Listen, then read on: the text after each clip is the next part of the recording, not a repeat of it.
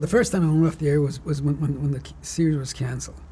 And at that point, I was a little desperate, you know. I was making phone calls that, that I never thought I would make, that I, I that I didn't have the, uh, the intestinal fortitude. I mean, to call up directors and say, I'm looking for work, that's, that was not my MO. And, um, and inevitably, they'd say, well, we'll, we'll get back to you. no, no, nobody, uh, with the exception of Joe D'Agosta, uh, would, uh, you know, take those calls very seriously. So I started writing. I, in 1970, 71, I started writing. The first thing I wrote was a, a show called Whatever Happened to the Class of 65. And um, that probably was my best experience. My experience as, as, a, as a writer, television writer, descended. It was a descending uh, uh, shape to them, uh, as opposed to one where things get better and better. The, f- the, best one was the first one. There was no editor on the show. It was just me and the producer. Um, there was no. Uh, there was a minimum of characters you had to write for that that had rules. Because it was, it was an anthology series, so you created most of the characters uh, when you wrote it. Um, so I had a good time, and I, I, again, I took this from the from newspapers. Uh, oh no, I took this from a book. It was a book. I didn't read the book, but it was a book about a class, a graduating class in Pacific Palisades, I think, high school, and the authors followed what happened to these students when they left school, and what happened in the next five or ten years. So I projected on you know a story that would uh, involve some of these students. And that's what the whole series was about about fictitious students who went on to do different things. And it came out pretty good. It came out to be, in a 56 page story for, for an hour, it came out to be about 95 pages. so I had to do a lot of editing. And it was very painful. And I know that there were some points that uh, were not totally clear by the time you uh, was, was, cu- it was cut down uh, because I had to cut so much out. But it was serviceable. It was serviceable, and uh, and it was and it went on, went on the air pretty much the way I pretty much the way I wrote it. So I was pleased about that.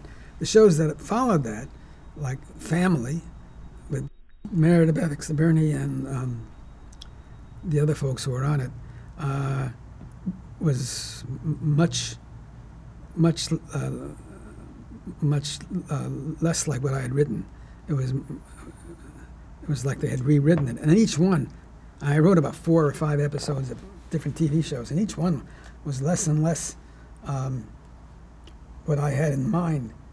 Um, came to the point where I was called in to write an episode of The Incredible Hulk, and um, when you write when you when, when you pitch as a freelancer, you know, to a television series the first thing you do is you come in and you, and you give them a verbal outline, nothing that they commit, that's committed to paper.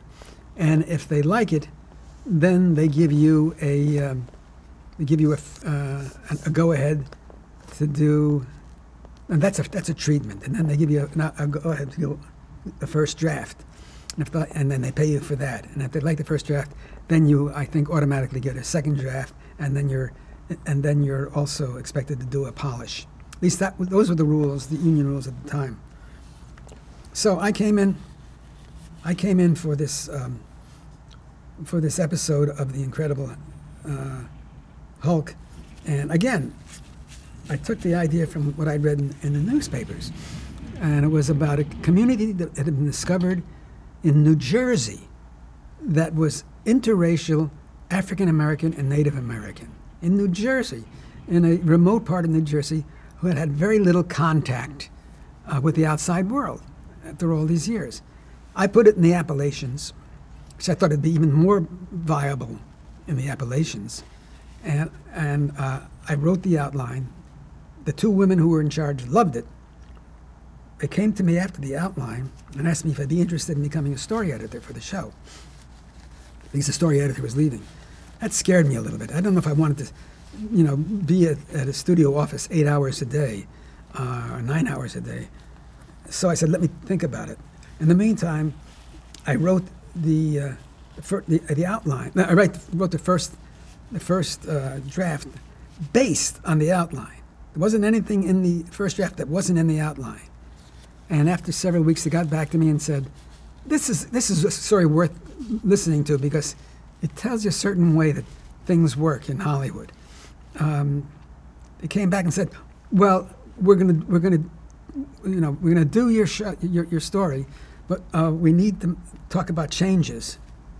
And the executive producer is now back in town. The executive producer was a, was an ex-marine who had been out shooting a two-part uh, Incredible Hulk, and he'd just come back and he'd read my first draft, and apparently he wasn't pleased. So uh, they brought me in, and the three of us were sitting there, and uh,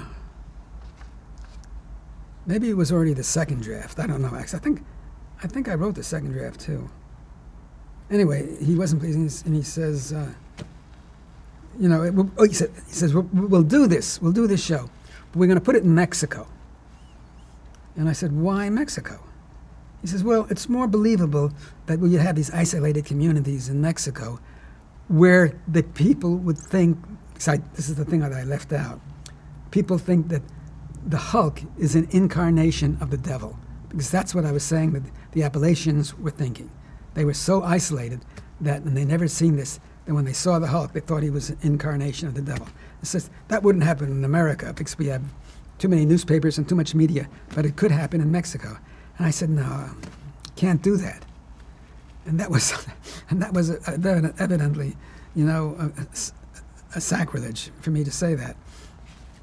I said, to do that is to intimate Mexican people are less bright and less aware than North Americans would be. Uh, you're saying that they're more super- superstitious, because you're, you're, you're labeling them something other than North, North Americans or Caucasians, it, it, it is implied and to be inferred that we are giving them these assignations as well. These, uh, these uh, not assignations, these um, signatures as well, that we're, we're, we are saying that they are culturally uh, impoverished and are, are, are, are not as smart, and I can't do that. And they said, well, if you can't do it, we can't shoot the, sh- the show. I said, well, so be it. Uh, I can't do it.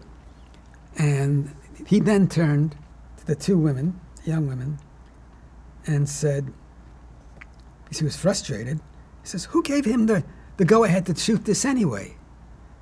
And they totally took the fifth, uh, saying, well, this isn't. Uh, this is this, this this draft is not what he had in the in, in the in the line in the uh, outline.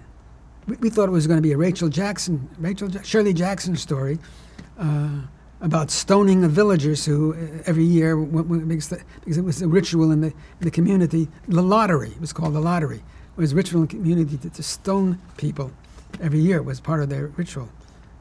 And I said, we never did discuss that, we, and we never de- decided on that. I said, if you, if you look at the, at the at the outline, there's nothing about that in the outline. And and the first draft, and, and you passed. You gave me the okay on the outline. So uh, and that, so that's what this first draft is predicated on. So he listened to my argument, and they said nothing. They were also making three hundred thousand dollars a year each, and they were not going to that this is my own editorial comment, but my sense was they were not going to jeopardize that for uh, for whatever benefit integrity and honesty could could give them. So they went they went the way they went, and um, then he says, "Well, we can't we can't make the show." And I said, "Okay." And I walked out, and that was the end of it. I did get paid. I did get paid for it. I got paid everything. I got paid for as if they'd gone to shoot it, but that was the end of it. And, and you can see the, how, the pol- how the politics play.